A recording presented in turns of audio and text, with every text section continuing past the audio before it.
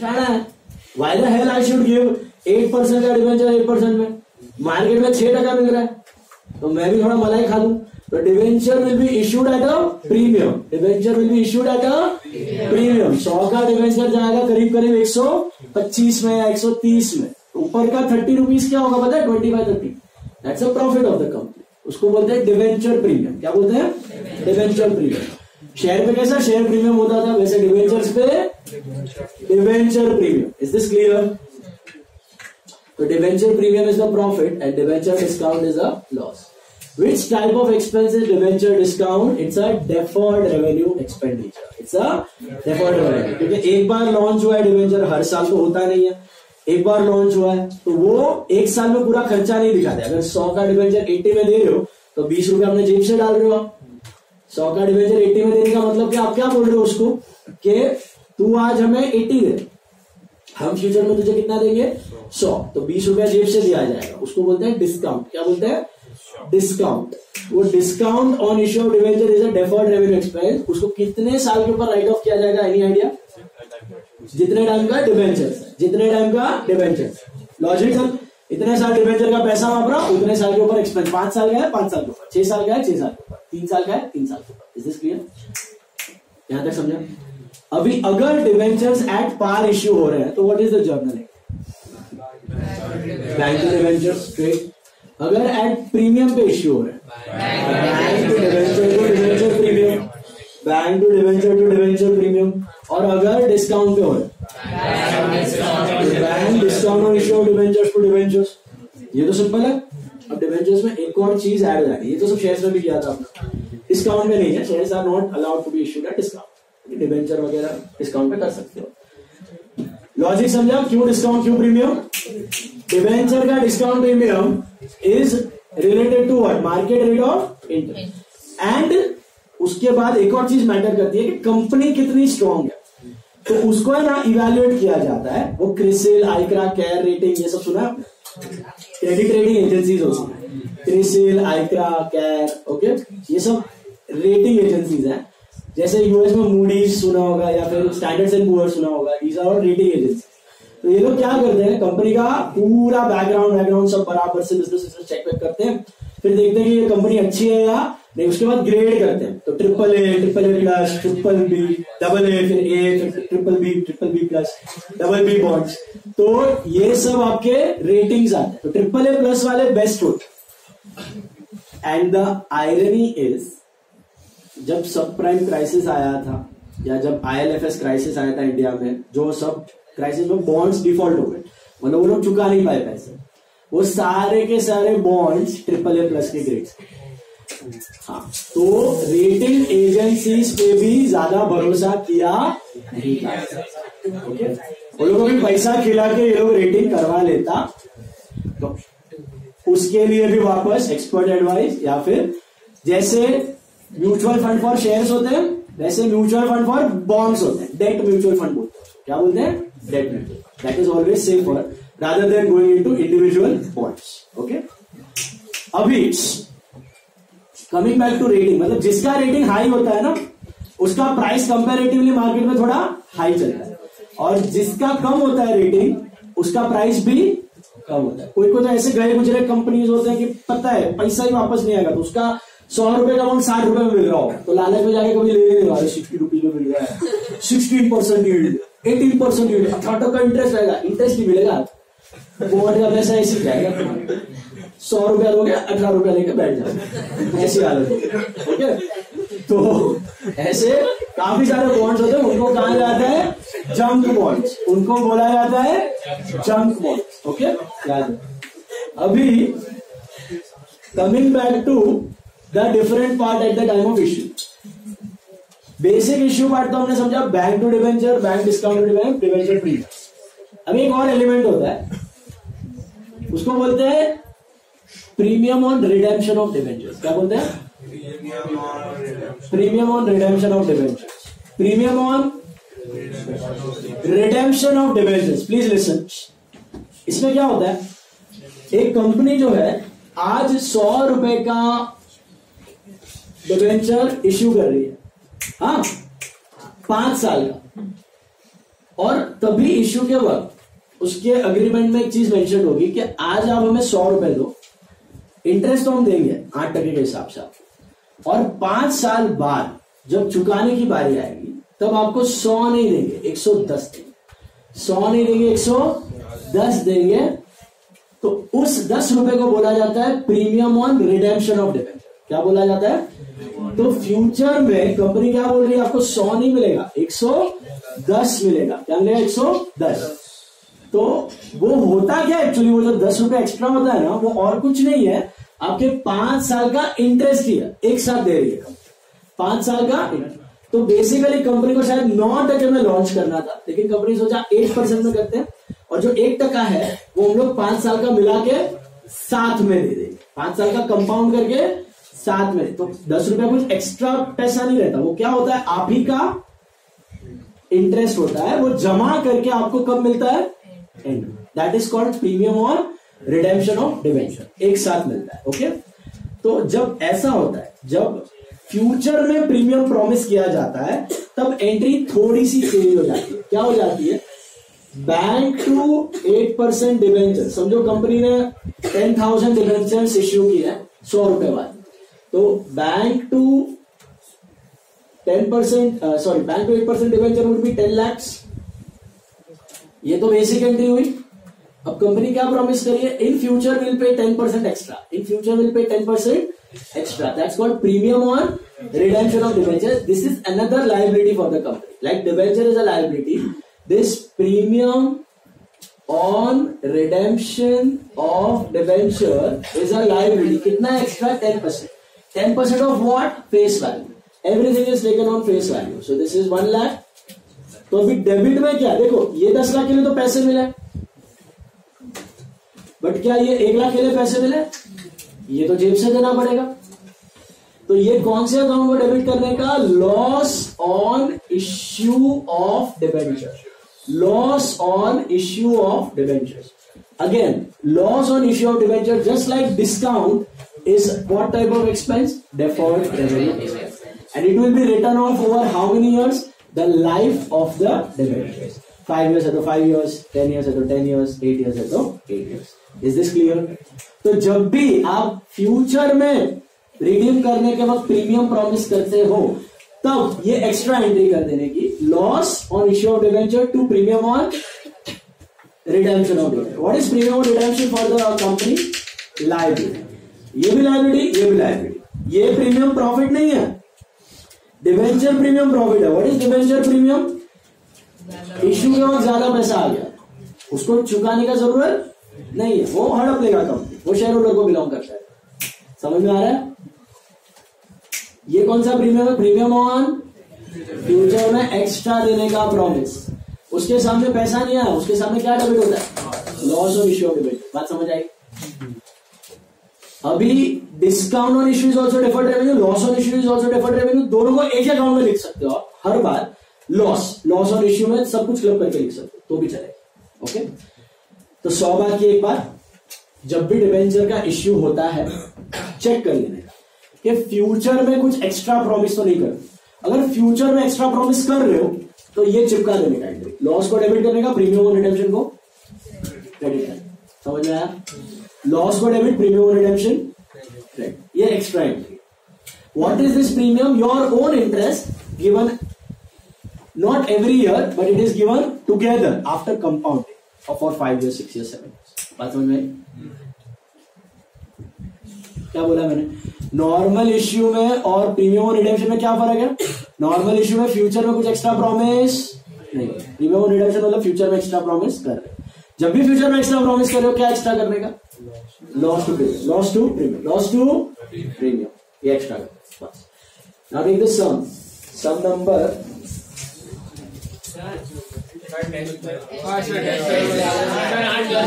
supervisor तो आए साढ़े आठ को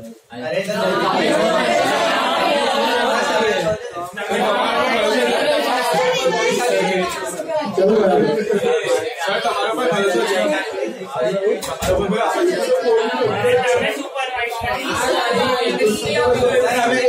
All of your mates. Page sub number 15.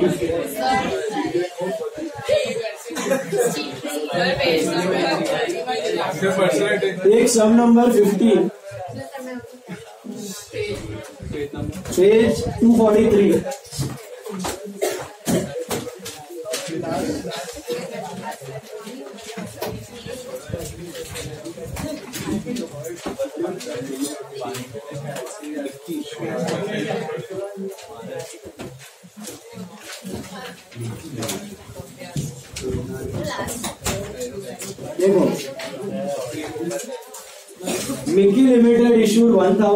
Percent debentures of 100 What is that 8 percent? Rate of interest. You got it? Of 100 each repayable at the end of 10th year.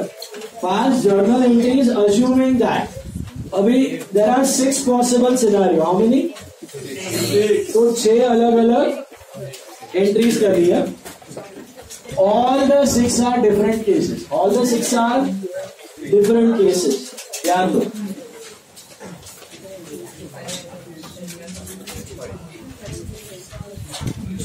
अभी first one issued at five percent discount and repayable at par तो issue कैसा हो रहा है आपका? Discount मतलब आज सौ रुपए का डिवेंचर पाँच परसेंट डिस्काउंट पे जा रहा है। मतलब कितने पे जा रहा है?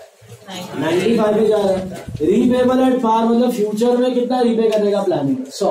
Are you going to repay anything extra no तो simple entry for issue simple entry for issue is bank discount है ना?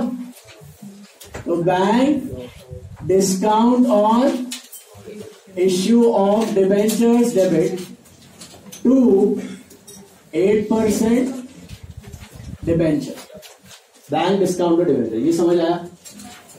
बैंक डिस्काउंटेड डिबेंचर क्या दिमाग में? रीपेबल एट पार है। रीपेबल एट पार है। तो फ्यूचर का कोई एक्स्ट्रा एंट्री आएगा कि नहीं? फ्यूचर का कोई एक्स्ट्रा एंट्री आएगा कि नहीं? नहीं आएगा। क्या आएगा?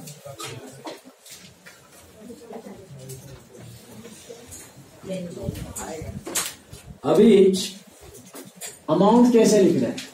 हज़ार डिवेंचर है, सौ रुपए के। तो डिवेंचर में तो फेस वैल्यू आएगी वन लाख जैसे शेयर कैपिटल में फेस वैल्यू वैसे डिवेंचर में फेस वैल्यू और डिस्काउंट कितना है? फाइव थाउज़ेंड हेलो तो ये आएगा फाइव थाउज़ेंड और बैंक में कितना आना चाहिए? Ninety five thousand is that right so this is issue being same question copy करने का। Issue of one thousand eight percent debentures हाँ बोलो।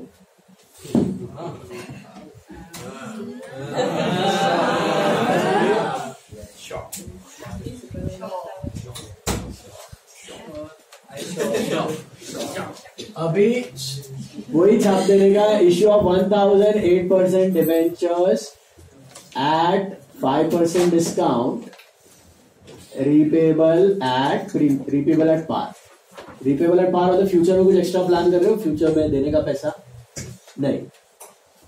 क्या डिस्काउंट पे काय को इश्यू किया होगा कंपनी ने? मार्केट रेट हाई है। एक रीजन पहला main reason market rate of interest का होता है। सेकेंड रीजन होता है क्वालिटी ऑफ़ द कंपनी जो थोड़े बी ग्रेड होते हैं B plus double B triple B वाले सी ग्रेड वो सब इसमें जाते हैं। इसमें आपका कम discounted price is it clear now second one point issued at par repayable at five percent premium मैंने जो एग्जांपल अभी भी बताया। इश्यूड एट पार है। तो आज के डेट में तो पार पे जा रहा है। तो उसका एंट्री क्या है? Bank to eight percent debenture पहले वो कर दो। कितना आएगा? एक lakh. Issued at par issued at par लेकिन repayable at repayable at premium मतलब समझ में आया? क्या है वो? फ्यूचर में एक्स्ट्रा देने का प्रॉमिस कितना? पाँच परसेंट मतलब कितना? Five thousand one lakh face value का फाइव परसेंट फाइव थाउज़ेंड उसके लिए एक एक्स्ट्रा एंट्री करने का what is that loss on issue of debenture debit to premium on redemption of debentures. What is this premium on redemption for the business? Liability. Liability. And what is this loss? Deferred revenue. समझ में आया ये premium actually आपका interest ही है जो आपको compound होके मिल रहा है थोड़ा एक्स्ट्रा बीइंग सेम कॉपी करने का issue of 1008 percent debentures of 100 each at par repayable at 5% premium okay समझ में आया okay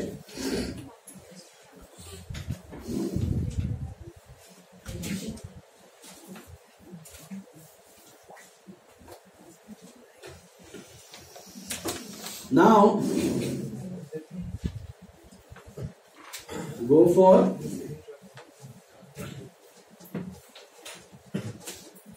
third one. All the cases are independent of each other. Issued at a premium of 10% repayable at par. Issued at a premium मतलब 100 का debenture कितने में जा रहा है 110 एंड रिपेबल एट पार है तो कुछ एक्स्ट्रा करने की ज़रूरत है नहीं तो what is the entry for issued at premium bank to 8% debentures to what? Either you write debenture premium or you write security premium. Okay, as I told you, security premium is a common account which can be used for both shares and debentures. Okay, either write debenture premium or write securities premium. Simple. Uh, amounts कैसे लिखेगा debenture में तो face value आएगा एक lakh premium आपका I think दस हज़ार है। और यहाँ पे आएगा एक लाख दस हज़ार। तो आज ही कंपनी को ज़्यादा पैसे मिल रहे narration is same issue at premium repayable at par repayable at par है। मतलब फ्यूचर का कोई एक्स्ट्रा प्रॉमिस नहीं है। फ्यूचर का प्रॉमिस नहीं है तो लॉस टू प्रीमियम मारने की ज़रूरत नहीं तो ऐसे कितने केस पॉसिबल है? टोटल छह। कैसे छह? Issue at par premium discount repayable at par issued par premium discount and repayable at premium can it be repayable at discount will anyone buy हाँ तुम सौ दो, मैं आपको नब्बे दूँगा, पाँच साल में। That's not possible practically not possible now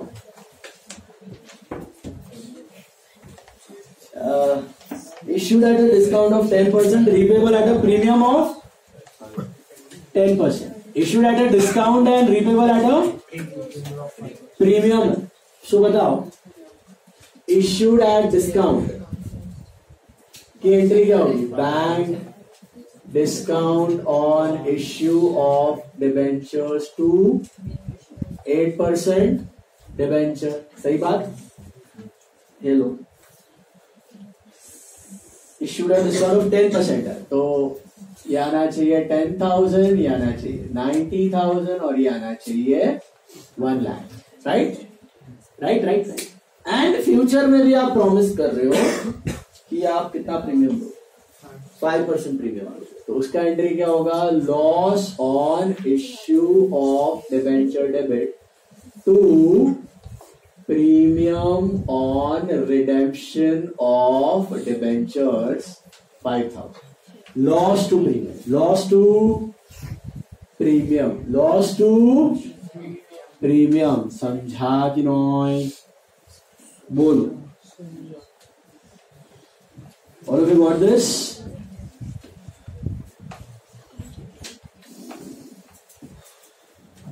getting it getting it narration is all same issue at discount repayable issue क्यों discount पे किया होगा मार्केट में रेट ऑफ़ इंटरेस्ट ज़्यादा होगा इसके लिए ओके या तो फिर कंपनी की क्वालिटी थोड़ी नबड़ी हो, बराबर ये बॉन्ड्स में जैसे आप शेयर्स में करते हो ना जीरोधा और अपस्टॉक्स और इसके थ्रू ऐप के थ्रू ऐसा इसमें भी कर सकते बॉन्ड्स में। Then, issued at premium of five percent repayable at premium of five percent तो पहले तो इश्यू एट प्रीमियम की एंट्री क्या है? वो बताओ। Bank to eight percent debenture to what debenture premium या फिर सिक्योरिटी प्रीमियम ये पहले कर दो। इश्यूड है कितना प्रीमियम है? देख लो फाइव परसेंट तो कैसे लिखोगे आप? डिवेंचर में तो एक लाख, पाँच हज़ार प्रीमियम है, और बैंक में आएगा एक लाख, पाँच हज़ार। समझ में आया? Issued at five percent premium समझा? ऐप ग्रो ज़ीरो था और बॉन्ड्स आप खरीद सकते हो। टी बिल्स गवर्नमेंट बॉन्ड्स या कंपनी कॉर्पोरेट बॉन्ड्स है शायद कॉर्पोरेट बॉन्ड गवर्नमेंट बॉन्ड्स तो है मैं तो नहीं डालता हूँ। मैं तो विंट वेल्थ के थ्रू करते हैं। Wint wealth is an app is tracks corporate bond इसका टी बिल्स और गवर्नमेंट बॉन्ड्स तो है कॉर्पोरेट बॉन्ड्स नहीं है। हाँ था। ना हाँ वही है। आरबीआई बॉन्ड है? पक्का? देखिए अदरवाइज़ विंट वेल्थ करके क्या है? Wint wealth I use that so Wint wealth मैं आपको पूरा रिसर्च रिसर्च करके सारा कॉर्पोरेट बॉन्ड्स का सब मिल जाता है। या तो फिर उसके कंपनी के वेबसाइट पे जाके ले लो आप सीधा। ऑनलाइन वहाँ पर भी मिल जाए कंपनी वेबसाइट से get direct okay I think होता है ज़ीरो दाम में भी होता है ईटी मनी में भी है ज़ीरो दाम में भी है बॉन्ड्स तो कर सकते हो now